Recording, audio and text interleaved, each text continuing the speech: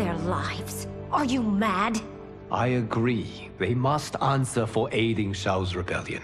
And of course, I leave their punishment to you.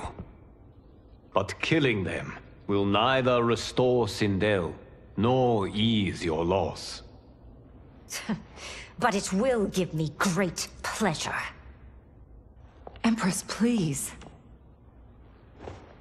When Shao's rebellion ended, and he was imprisoned, my advisors also urged mercy, to smother the seditious fire he'd lit.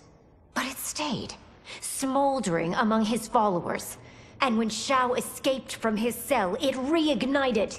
Now, my sister's armies are stretched to their limits. And as always, Earthrealm's might is at your disposal to help deal with Shao's threat. What I ask in return is that together we try to break the cycle of violence as partners in peace. What's this?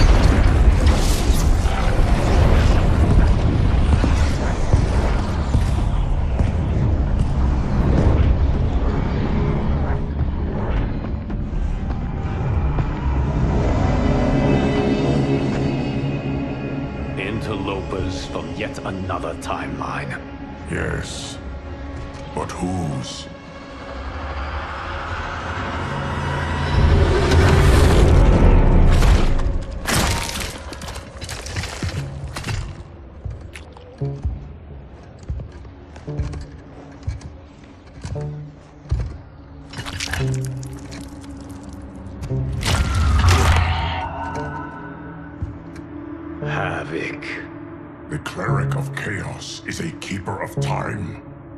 This day will not end well.